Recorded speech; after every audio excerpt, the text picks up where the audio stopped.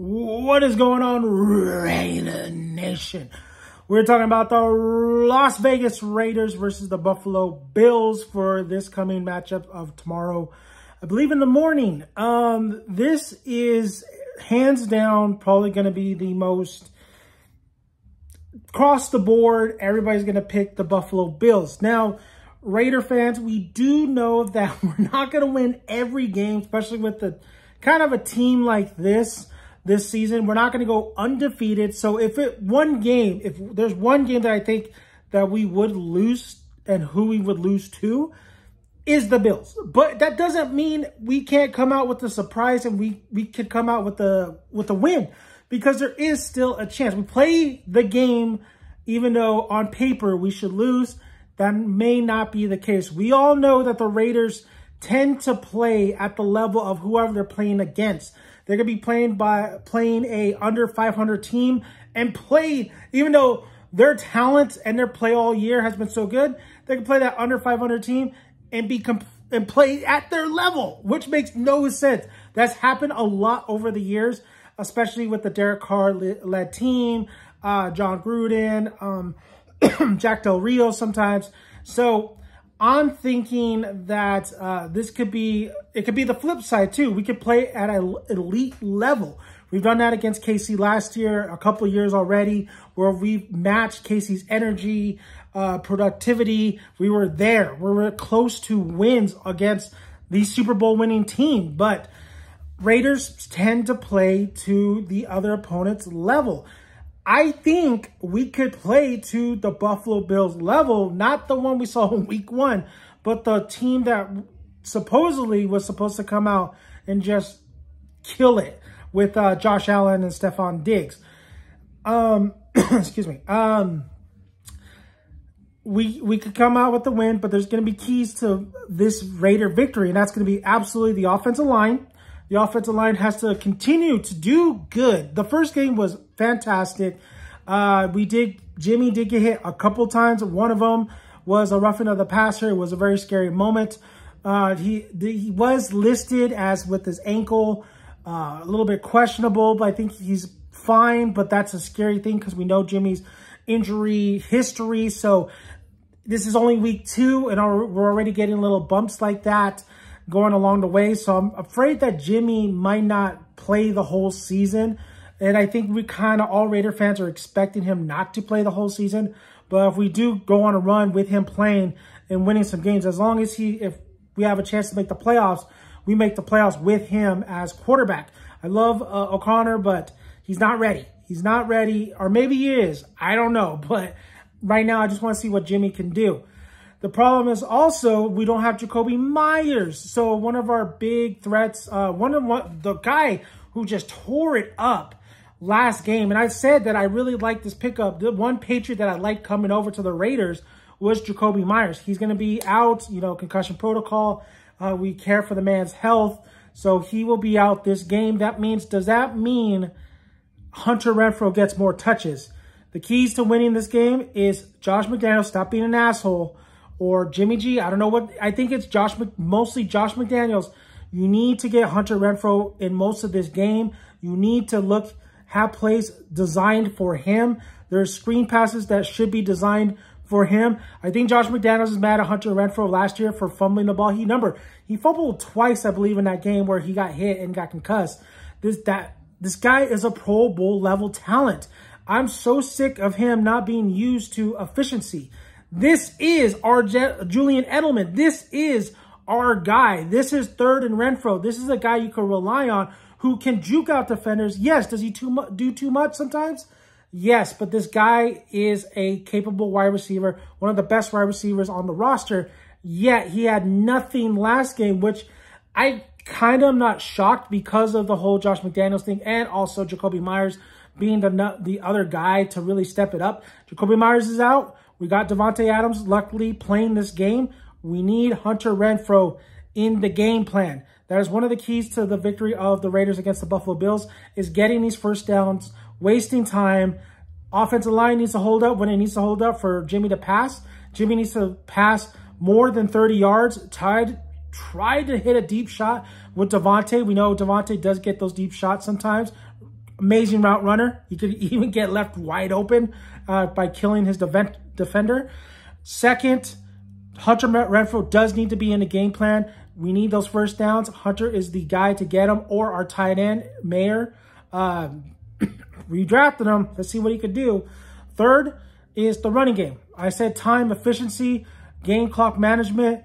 Josh Jacobs needs to be the beast this game. He needs to be the one that gets the rock and gets over 100 yards. He needs over 100 yards, touchdown, two touchdowns. He needs to have a game. He needs the ball out. Uh, I think the Raiders running game will pick up this time around. I don't think the Buffalo Bills will stop Josh Jacobs. I think Josh Jacobs, if he is able to uh, get started early, will start early and really gain a lot of yards throughout the whole game. Over 100, I'm predicting one touchdown. I would like two, but I'm going to say one touchdown. I think the, the run game must be established this game. Now, the weakness of the Raiders. It's the defense, guys. It's always the defense. It continues to be the defense. The coverage is god-awful. Looking at film tape, though, last game, linebackers didn't do too bad. Deablo did good. Uh, this this this linebacker crew is actually pretty impressive. They are uh, doing a lot of good things. It's just the coverage. When a quarterback gets that amount of time, the problem with the Raiders is they do they do give up so many big plays, so much chunks just because the defensive line pressure doesn't get there right away. The defensive line is not going to get there right away all the time. The problem is Mad Max is getting off super early. We have seen the uh, the tapes. Wilson is just slow off the get-go. If that was his first game, butterflies are out. Let's see how he does his second game. He needs to step it up for the Raiders to compete and to ultimately win this game. Uh, those are the key elements of winning the game. The, like I said, the only thing that I'm concerned of is the defense. You're going against Stefon Diggs, and I don't care if Josh Allen did have so many turn turnovers last game. This is still Josh Allen. And what is he going to kill you? What do we struggle on with most of the time? Running quarterbacks.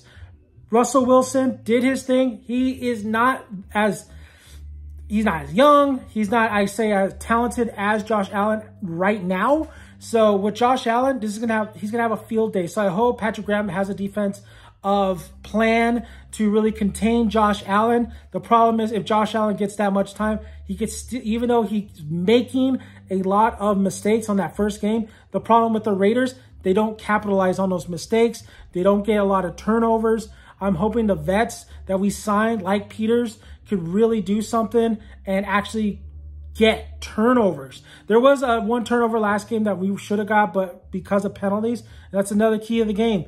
Raiders have to cut down their penalties. The problem is it's the Raiders. It doesn't even matter if it wasn't even a legit penalty. The rest will throw that flag every single time. So you got to understand with the Raiders, they have to play flawless football, almost flawless football. They played good football for week one, but it was absolutely not flawless. Week two has to be almost 100% of their A game. If not, Buffalo is going to run all over us. Buffalo on paper should kick our ass, but the Raiders, their offense, I'm really digging. I'm really liking, even without Jakobi Meyers.